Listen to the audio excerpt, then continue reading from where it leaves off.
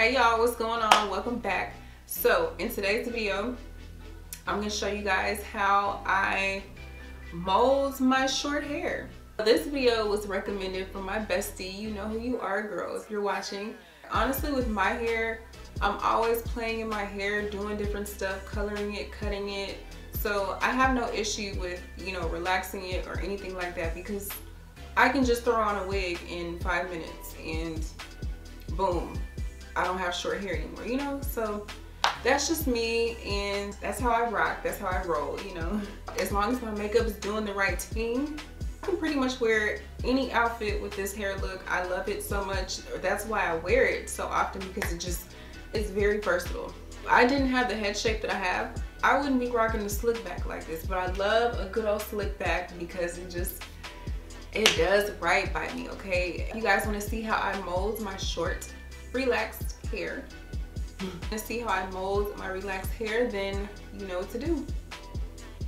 Okay, so I just finished co-washing my hair, you guys. But first off, let me end up rocking a ponytail like this. You wouldn't be able to tell me nothing, okay? I'm gonna light some sage really quick, you know, to set the mood. Pray to the hair gods that this mold turns out how it should. I'm pretty sure it will. This is white sage. If you don't have white sage, you can use Palo Santo, okay? That works just as well, but let's just, got our sage going. Now I'm ready to get into this mold, hunty. Okay, starting off, the products that you're gonna need, or at least what I use is mousse, okay? You can use any mousse that you have on hand. I just prefer the Design Essentials mousse.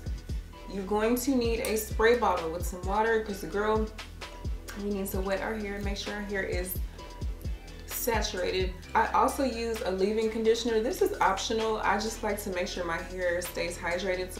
Your choice of gel, I'm using Got To Be gel.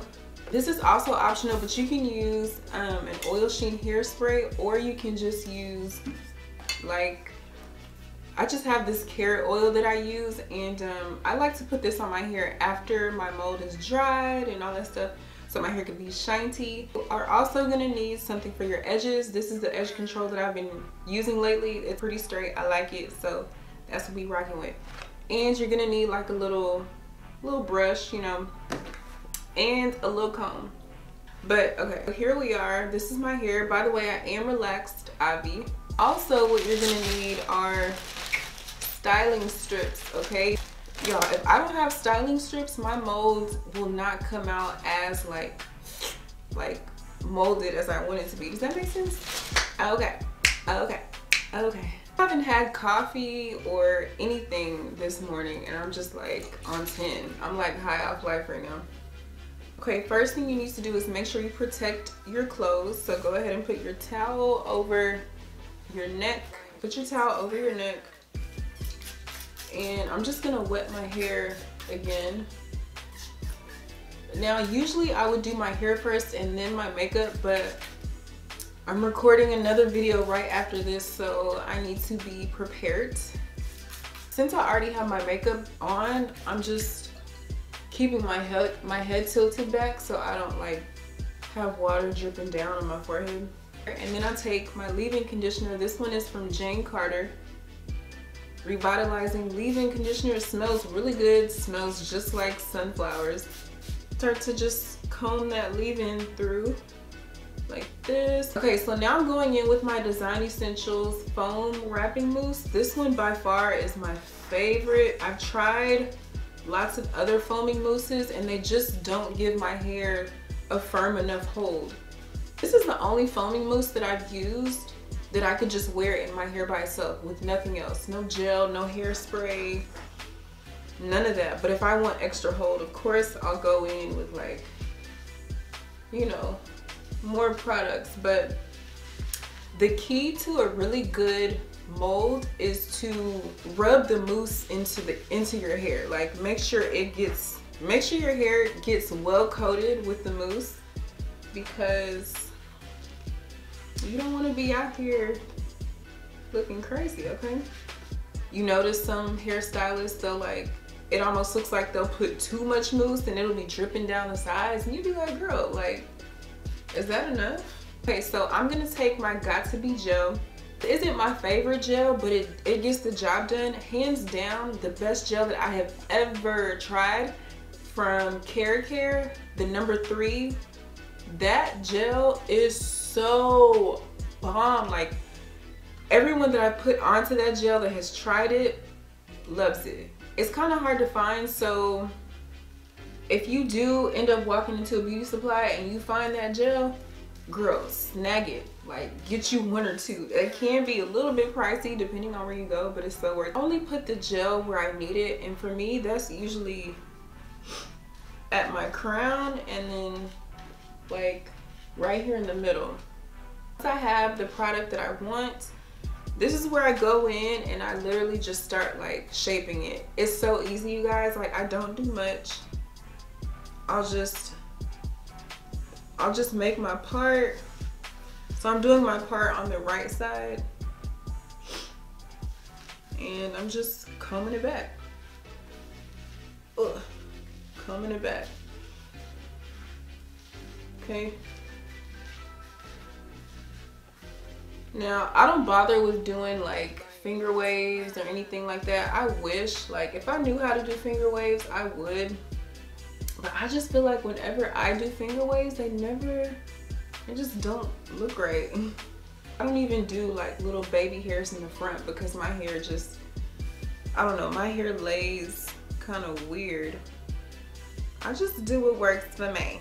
Thanksgiving is in two days and I'm just like, wait a minute, like Halloween was just last week. Where, why is Thanksgiving already happening? And then next week it's about to be Christmas. So then I'll just take my little brush and just further smooth it. Y'all, when I tell you, this hairstyle is so easy. Like, usually this hairstyle, when I have my hair molded like this, it'll last me like two and a half days. So I'll show you guys the back.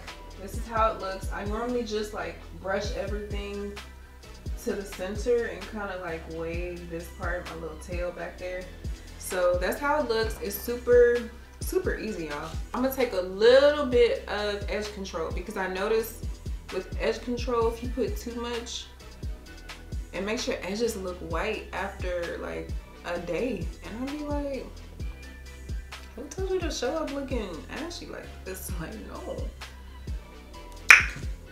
It's coming together, it's coming together. I love wearing like girly outfits and having my hair slicked back. It's just something different, you know? I can definitely pull off an androgynous look.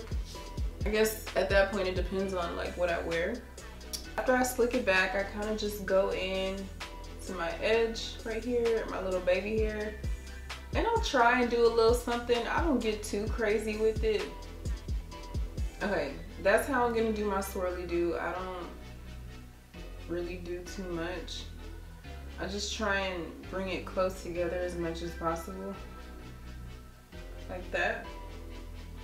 So we got our mold. So now I just take a little bit of hairspray. I don't always do this, but if I'm like going out or I really want like nice hold, like a nice ting, you know, going on, I'll use some hairspray. So I usually use Sebastian hairspray, spray my hands and just smooth it over. But for today, I think I'm gonna focus most of this hairspray um, at the crown of my head because Okay, so now for the fun part, we're gonna put on our styling strips, okay? The whole time while you're wrapping your hair, keep your head bent. And I'm just gonna kind of stretch it, stretch it. The key with wrapping your hair is to keep tension. Keep tension on both sides. Just keep going. And when I tie it, I'll take my ring finger and like place it in the middle to keep the tension. And then I'll just wrap. And what I do is I like to go at the crown and do this. This is extra, y'all, I know. Preferably, I would sit under a hood dryer, but your girl don't have a hood dryer, so I'm just gonna use this. So here we go.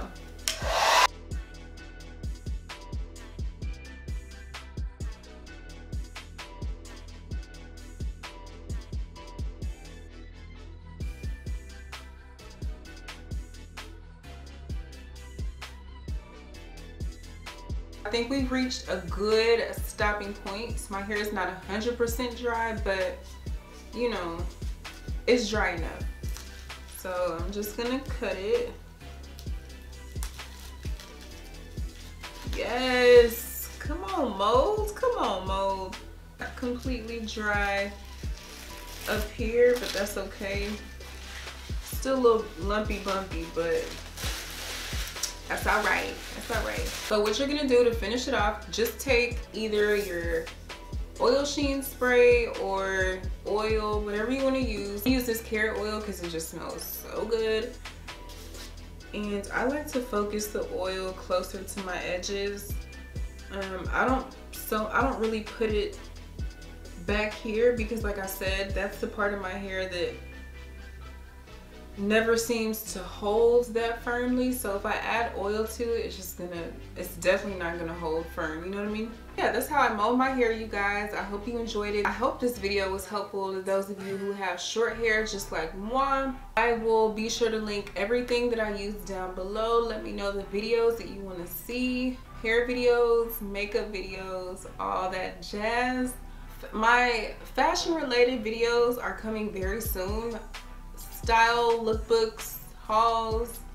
I definitely want to get into that, but you know, we'll see what happens. It's, it's coming, all right? It's coming. Okay, yeah, I don't think I have anything else to say except I will catch you guys in the next one. Talk to you later. Bye.